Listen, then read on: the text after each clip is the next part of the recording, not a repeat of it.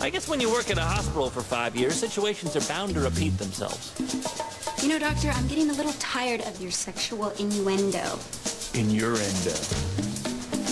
Dr. Kelso, it's so cold in pediatrics, the kids are wearing mittens. Hey, champ. What has two thumbs and doesn't give a crap? Uh, Kelso, how you doing? That's what deja vu is. Feeling like you've lived the same moments a thousand times.